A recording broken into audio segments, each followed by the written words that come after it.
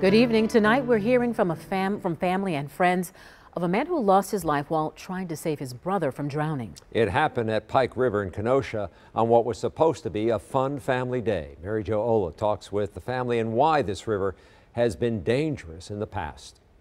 But I was not surprised on the fact that he he got into the water to help with the brother because that was the type of guy he was. Hearts are shattered after 39 year old Adrian Sanchez Trujillo died last weekend. Authorities and witnesses say his brother was swimming in the Pike River in Kenosha County and started to struggle. Adrian rushed in, got his sibling to safety, but then he went under. I couldn't believe it because he was going to celebrate his birthday. He was so happy. We talked with Adrian's sister, Citlalli Sanchez, over Zoom through a translator. She was emotional. The day Adrian died, family and friends were getting together for his birthday. Adrian era una persona. Adrian was a generous person. He always took care of his family.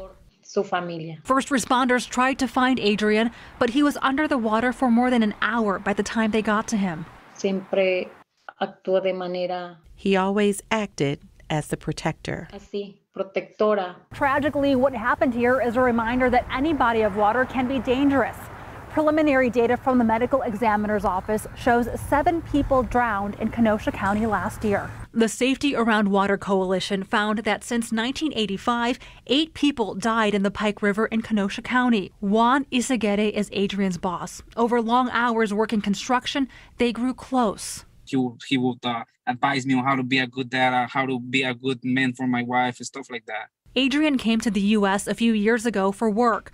Most of his earnings went to support his wife and three kids in Mexico. He dreamt of being reunited with his family this year.